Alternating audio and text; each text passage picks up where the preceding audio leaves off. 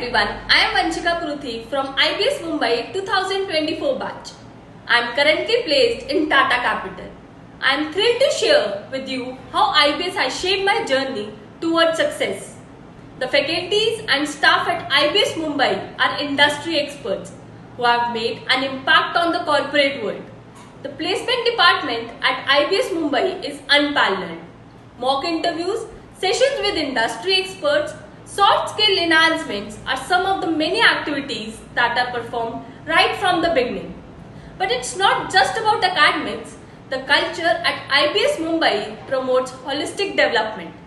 Holding position of responsibility as head of Entrepreneurship Club ECEL of IBS Mumbai has given me important lessons in leadership, teamwork, communication and managing people.